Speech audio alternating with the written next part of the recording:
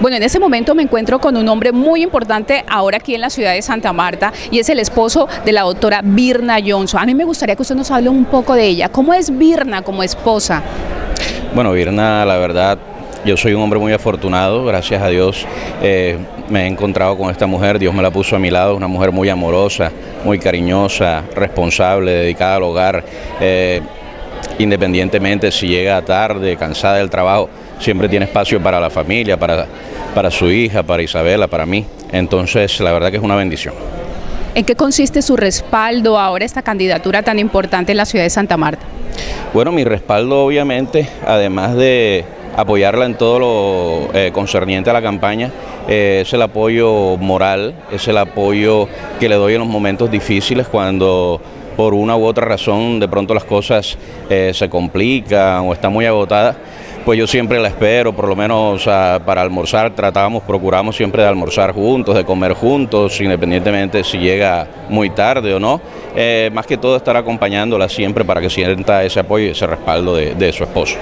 ¿Qué fortalezas puede resaltar de ella?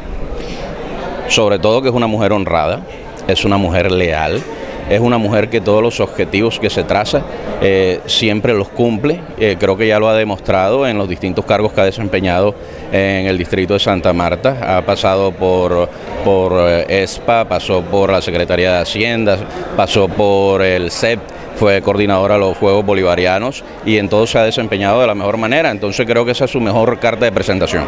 ¿Por qué considera que todos los amarios deben darle el voto de confianza a ella?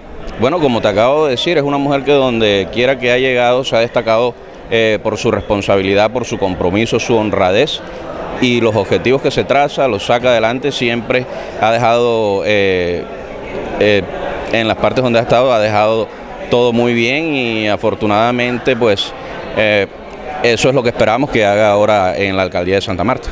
Si ella es elegida como, alcaldesa de la ciudad de Santa Marta, ¿cómo cree que ella va a desempeñar ese cargo? Yo creo que de la mejor manera, ya que ello viene militando en el movimiento Fuerza Ciudadana desde su fundación, ha estado siempre en el círculo de confianza del doctor Caicedo, eh, ahora con la alcaldía de Rafael Martínez, entonces yo creo que va a seguir por esa misma senda y el cambio va a continuar en Santa Marta, Dios mediante. ¿Qué opinión tiene de ese ataque que hoy recibieron con huevos?